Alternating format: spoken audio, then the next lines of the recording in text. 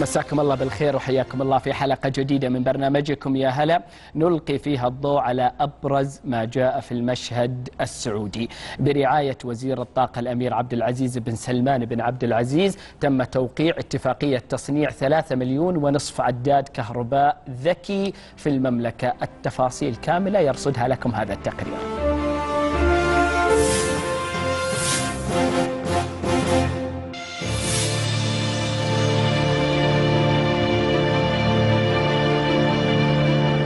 أزمة فواتير الكهرباء والتي خفضت من مستوى الثقة بين المستخدم والشركة السعودية للكهرباء دعت إلى ابتكار حلول أكثر دقة ومصداقية في قراءة العدادات ومستوى الاستهلاك وذلك من خلال توقيع اتفاقية بين كل من وزارة الطاقة وعدد من الجهات الحكومية حيث تهدف إلى تصنيع العدادات الكهربائية الذكية محليا خلال الأشهر القادمة.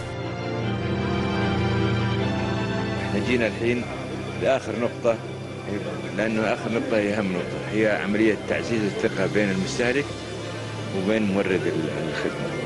إنما بيتبع هذا آه، مناشط متعددة في منظومة الكهرباء.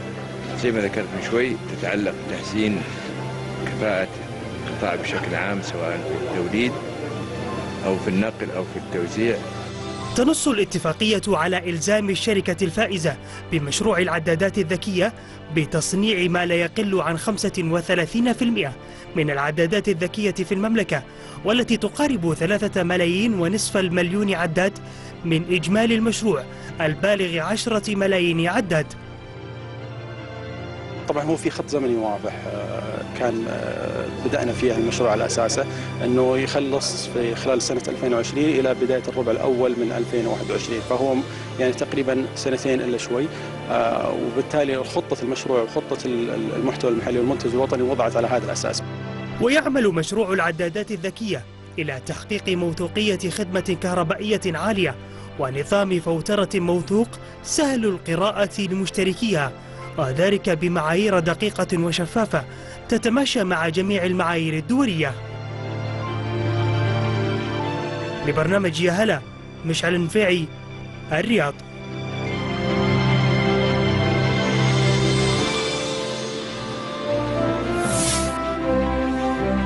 شكرا للزميل مشعل النفيعي. حقيقة أنه أثناء هذا المؤتمر كان في تصريح مهم جدا من الرئيس التنفيذي للشركة السعودية للكهرباء المكلف الأستاذ فهد السديري ويثير كثير من الأسئلة. خلونا نسمع هذا التصريح ونرجع نعلق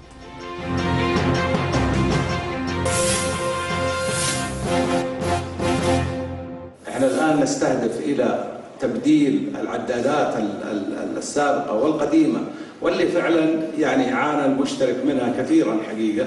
والآن بنحط عدادات موثوقة آه، تحقق لنا آه، دقة في القراءة آه، تحقق لنا كذلك عامل عامل إعادة الخدمة واللي غالبا ما يأخذ وقت كثير على أساس أنه فرق الصيانة تطلع. كذلك الاستغناء عن القراءات البشرية واستبدالها بقراءات لحظية تقرأ عن طريق أحدث وسائل الاتصالات اللي تمكن من نقل المعلومات بكل أمن وأمان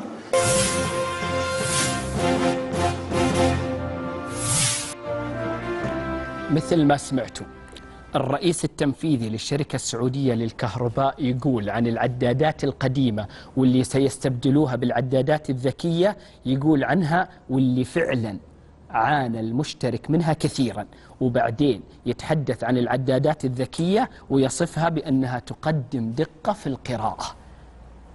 هذا الكلام سمعناه في الكنترول قبل الحلقة مرة عدناه مرتين عدناه ثلاث كلام كبير ومهم ويجب الوقوف عنده والتساؤل حوله وعدم تمريره بهذه السهولة. شوفوا أولا خلونا نقول كلمة حق ونشكر الشركة السعودية للكهرباء على كل اللي جالسة تقدمه اليوم على كل اللي قدمته وعلى كل اللي جالسة تعمل عليه من أجل تحسين وضع الكهرباء ومنها اتفاقية العدادات الذكية اللي ذكرت في هذا التعليق ولكن هذا التصريح يفرض تساؤلات كثيرة جدا أتمنى توضيحها. أربع نقاط سريعة. النقطة الأولى وش المقصود بأنه العدادات القديمة عانى المشترك منها فعلا؟ وأنه العداد الذكي يعطي دقة في القراءة أكثر. هل هذا يعني يا أستاذ فهد أنه كان العدادات القديمة تقدم قراءات خاطئة؟ هذا واحد. اثنين إذا كانت هذه العدادات تقدم قراءة خاطئة وانت أثناء التصريح قلت إنه إنه في فرق تروح وراحت الفرق وشافت القراءة الخاطئة وعدلتها وش مصير الآخرين اللي ما كان يشتكون ولا يدرون؟ أنه العدادات فعلا كانت عبارة عن معاناة أو كانت تقدم قراءات خاطئة أو ما كانت بالجودة اللي مفروض تكون عليها أو أنه حسابات فاتورة الكهرباء كان فيها مشاكل. هذول وش مصيرهم؟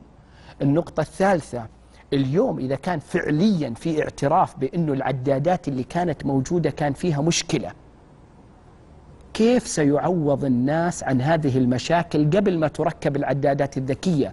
وإيش حجم المعاناة والمشاكل اللي حدثت؟ وهل بالفعل فيها قراءات خاطئة أدت إلى زيادة في الفاتورة ولا لا؟ النقطة الرابعة أنه هذه التساؤلات مشروعة اليوم طرحها بعد هذا التصريح وأنا أتمنى من الأستاذ فهد السديري أو من أي مسؤول في الكهرباء وإحنا كلنا نحسن الظن حتى اللحظة أتمنى منهم أنهم يطلعوا يوضحوا هذه الجملتين اللي قيلت في هذا التصريح. منبر يا هلا مفتوح وهذه دعوة مفتوحة على الهواء أهلا بكم. تعالوا وضحوا.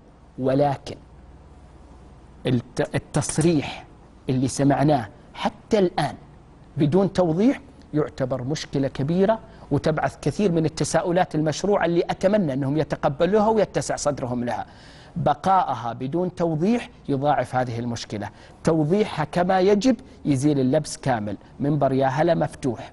وضحوا للناس ما المقصود بالمعاناة بكل صراحة وبكل شجاعة وبكل شفافية. في التقرير الأول اللي عرضناه قال الأمير عبد العزيز بن سلمان بالنص إن هم يهدفون إلى تعزيز الثقة بين المورد والمستهلك في قطاع الكهرباء. هذا التصريح إذا لم يوضح فهو يهز هذه الثقة هزة زلزالية جدا.